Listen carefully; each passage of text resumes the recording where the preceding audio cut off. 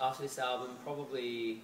Um, I mean, I'm, I'm still writing. Like I've, I've, I've even you know demoed up a few songs, kind of already that I think will be kind of cool on the next album. But um, a lot of touring, I think. You know, we'd like to kind of um, track these uh, songs around the country. We might be going to Holland at some point.